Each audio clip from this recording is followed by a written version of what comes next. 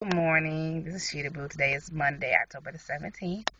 Um, I'm wearing a bun today still. Um, I've been wearing my bun since last uh, Wednesday. I want to say Wednesday. And, um, well, I wore hats Thursday and Friday, but I wore a bun out to the play on Saturday and um, church yesterday. But I've been noticing that my buns seem to be higher and like compact, like it's like a huge whatever. So today I tried to make it more um more flat to my head. And um what I did last night was just twist my stretched hair and um I took the twist out and wore like a twist out bang yesterday. So I just flat twisted them uh the textured hair back and pinned them back as usual. But um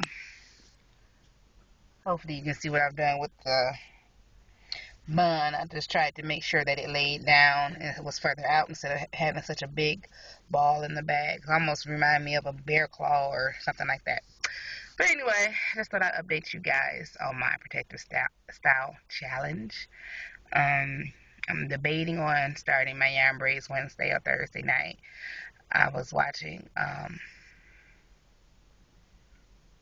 somebody did a tutorial on yarn braids the other day now that I never seen them before, but I think she she did it over like four days, and um, I think the best way to do that, which is my friend um, Melissa does her braids the same way, is to do the perimeter and do as many rows in the perimeter as you can, so you can pull it back into a ponytail or like pin up the long hair around the hair that's loose.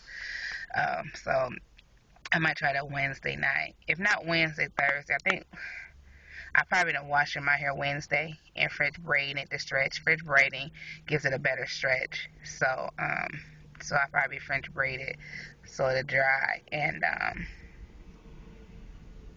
yeah, maybe start Thursday night, Thursday after work.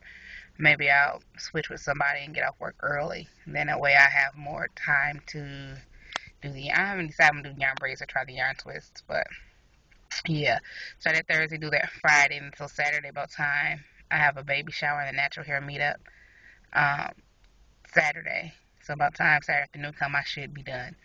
Um, I also, I, I'm still debating. Another reason why I'm debating on whether I'm going to put those in is because I'm still waiting for my package from Curly Nikki. and I don't want to put them in, and I can't play with my products. That's a shame, I know, right?